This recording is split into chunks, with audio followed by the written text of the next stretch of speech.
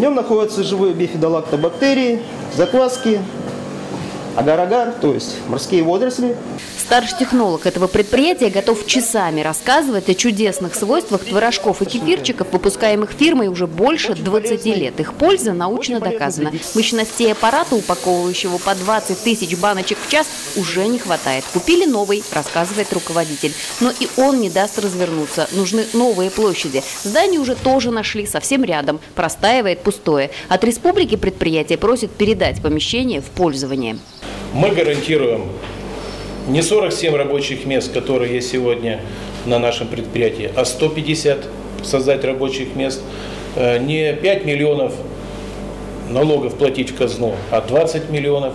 Инвесторы сегодня на вес золота не только в Удмуртии, во всей стране. С этих слов президент республики начал совещание по развитию бизнес-среды в регионе. Задача поставлена главой государства – сделать Россию привлекательной для инвестиций. Неделя инвестора – один из механизмов в этой работе, но не единственный. Опыт привлекать большие деньги в экономику региона у нас есть, отмечает Александр Волков. Примеры у всех на слуху. Возрожденные Ижавта и Сарапульский радиозавод, модернизированные Ижсталь, Воткинский и Чепец Купецкие машиностроительные заводы. Сегодня в Ижевске реализуется еще один крупный бизнес-проект. Миллиардные вложения идут в энергетику. За последние пять лет в Удмуртию инвестировали более 260 миллиардов рублей. Создано около 4 тысяч новых рабочих мест. Мы и субсидируем процентную ставку. У нас работает и фонд поддержки, и он уже обладает уже там не десятком миллионов, с чем мы начинали, а сотнями миллионов рублей э, для поддержки ряда проектов, которые проходят защиту. Требуется Э, активность приземления перед проектом.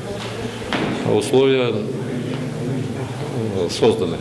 Сегодня Удмуртия, как и все регионы, пишет свою стратегию инвестиционного развития. Чем больше в ней стимулов, тем больше денег придет в экономику. Помочь разработать такой документ готово одно из ключевых бизнес-сообществ страны – «Деловая Россия». С ней сегодня республика подписала соглашение. Мы считаем, что мы будем крайне полезны а, администрации региона а, именно во внедрении этого стандарта, а это даст со своей стороны инвесторам четкое понятное понимание, куда движется регион и что здесь можно делать и куда можно вкладывать.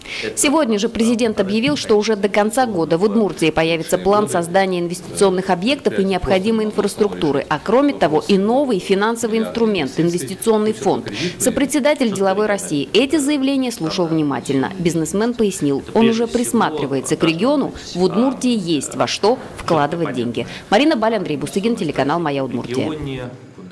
движется регион.